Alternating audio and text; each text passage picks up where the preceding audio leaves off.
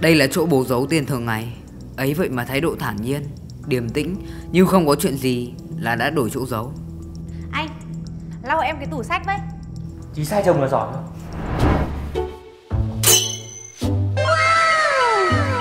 Sao lại ở đây nhỉ? Rõ ràng là mình giấu rồi. Thì thôi. Thế này đi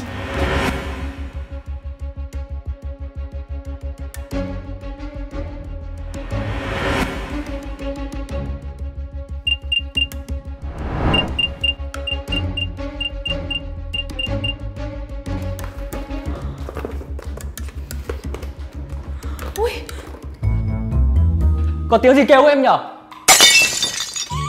Anh nói xem Đây là tiền gì? Tiền gì? Anh, anh có biết đâu